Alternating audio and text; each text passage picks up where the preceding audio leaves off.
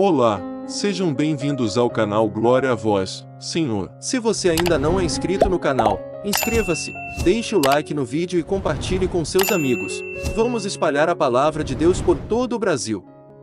Liturgia do dia 24 de dezembro de 2022, quarta semana do Advento, sábado. Missa da Vigília. Primeira leitura. Leitura do livro do profeta Isaías. Por amor de Sião não me calarei, por amor de Jerusalém não descansarei, enquanto não surgir nela, como um luzeiro, a justiça e não se acender nela, como uma tocha, a salvação. As nações verão a tua justiça, todos os reis verão a tua glória, serás chamada com um nome novo, que a boca do Senhor há de designar. E serás uma coroa de glória na mão do Senhor, um diadema real nas mãos de teu Deus. Não mais te chamarão abandonada, e tua terra não mais será chamada deserta, teu nome será minha predileta e tua terra será bem casada, pois o Senhor agradou-se de ti tua terra será desposada. Assim como o jovem desposa a donzela, assim teus filhos te desposam, e como a noiva é a alegria do noivo, assim também tu és a alegria de teu Deus. Palavra do Senhor, graças a Deus. Salmo responsorial. Senhor, eu cantarei eternamente o vosso amor. Eu firmei uma aliança com meu servo, meu eleito, e eu fiz um juramento a Davi, meu servidor, para sempre, no teu trono, firmarei tua linhagem, de geração em geração garantirei o teu reinado. Senhor, eu cantarei eternamente o vosso amor. Quão feliz é aquele povo que conhece a alegria, seguirá pelo caminho, sempre à luz de vossa face exultará de alegria em vosso nome dia a dia, e com grande entusiasmo exaltará a vossa justiça. Senhor, eu cantarei eternamente o vosso amor. Ele então me invocará, ó Senhor, vós sois meu Pai, sois meu Deus, sois meu rochedo onde encontro a salvação.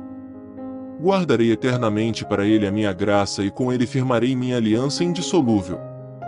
Senhor, eu cantarei eternamente o vosso amor. Segunda leitura. Leitura dos Atos dos Apóstolos.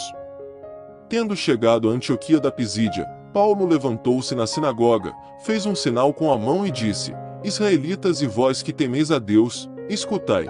O Deus deste povo de Israel escolheu os nossos antepassados e fez deles um grande povo quando moravam como estrangeiros no Egito, e de lá os tirou com braço poderoso. Em seguida, Deus fez surgir Davi como rei e assim testemunhou a seu respeito: Encontrei Davi, filho de Jessé, homem segundo meu coração, que vai fazer em tudo a minha vontade. Conforme prometera, da descendência de Davi Deus fez surgir para Israel um Salvador, que é Jesus. Antes que ele chegasse, João pregou um batismo de conversão para todo o povo de Israel, estando para terminar sua missão, João declarou: eu não sou aquele que pensais que eu seja. Mas vede, depois de mim vem aquele do qual nem mereço desamarrar as sandálias. Palavra do Senhor, graças a Deus. Evangelho. O Senhor esteja convosco, Ele está no meio de nós. Proclamação do Evangelho de Jesus Cristo segundo Mateus, glória a vós, Senhor. Livro da origem de Jesus Cristo, filho de Davi, filho de Abraão. Abraão gerou Isaque, Isaque gerou Jacó, Jacó gerou Judá e seus irmãos. Judá gerou Farés e Zara, cuja mãe era Tamar. Farés gerou Isrom, Isrom gerou Aron, Aron gerou Aminada, Aminada gerou Naasson, Naasson gerou Salmão, Salmão gerou Bus, cuja mãe era Raab. Bus gerou Jobed, cuja mãe era Ruth. Jobed gerou Jessé. Jessé gerou o rei Davi, Davi gerou Salomão, daquela que tinha sido a mulher de Urias. Salomão gerou Roboão, Roboão gerou Abias, Abias gerou Asa, Asa gerou Josafá, Josafá gerou Jorão, Jorão gerou Osias, Osias gerou Jotão, Jotão gerou Acais, Acais gerou Ezequias, Ezequias gerou Manassés, Manassés gerou Amon, Amon gerou Josias.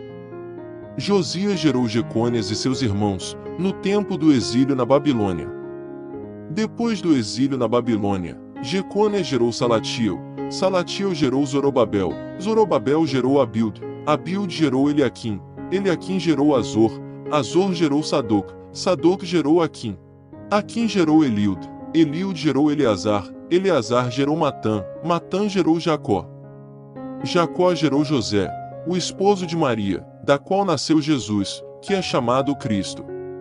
Assim, as gerações desde Abraão até Davi são 14, de Davi até o exílio na Babilônia, 14, e do exílio na Babilônia até Cristo, 14. A origem de Jesus Cristo foi assim: Maria, sua mãe, estava prometida em casamento a José, e, antes de viverem juntos, ela ficou grávida pela ação do Espírito Santo. José, seu marido, era justo e, não querendo denunciá-la, resolveu abandonar Maria em segredo. Enquanto José pensava nisso, eis que o anjo do Senhor apareceu-lhe em sonho e lhe disse: José, filho de Davi, não tenhas medo de receber Maria como tua esposa, porque ela concebeu pela ação do Espírito Santo. Ela dará à luz um filho, e tu lhe darás o nome de Jesus, pois ele vai salvar o seu povo dos seus pecados. Tudo isso aconteceu para se cumprir o que o Senhor havia dito pelo profeta: Eis que a Virgem conceberá e dará à luz um filho. Ele será chamado pelo nome de Emanuel, que significa Deus está conosco. Quando acordou, José fez conforme o anjo do Senhor havia mandado e aceitou sua esposa. E sem ter relações com ela, Maria deu à luz um filho. E José deu ao menino o nome de Jesus. Palavra da salvação. Glória a vós, Senhor.